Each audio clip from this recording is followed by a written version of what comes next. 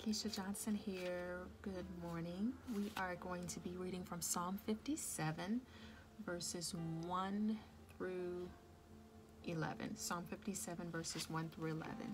Have mercy on me, O God. Have mercy. I look to you for protection.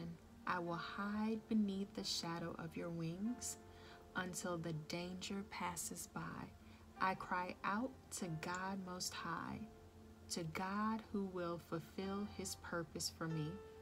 He will send help from heaven to rescue me, disgracing those who hound me. My God will send forth his unfailing love and faithfulness.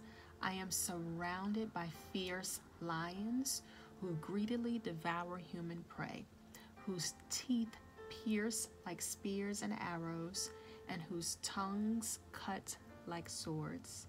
Be exalted, O God, above the highest heavens. May your glory shine over all the earth. My enemies have set a trap for me. I am weary from distress.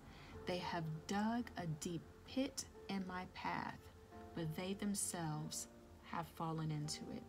My heart is confident in you, O God. My heart is confident. No wonder I can sing your praises. Wake up, my heart. Wake up, O lyre and harp. I will wake the dawn with my song. I will thank you, Lord, among all the people. I will sing your praises among the nations, for your unfailing love is as high as the heavens. Your faithfulness reaches to the clouds. Be exalted, O God, above the highest heavens. May your glory shine over all the earth. So, Father, we thank you for the reading of your word.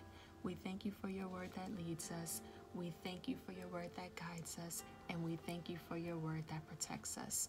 In Jesus' name, amen.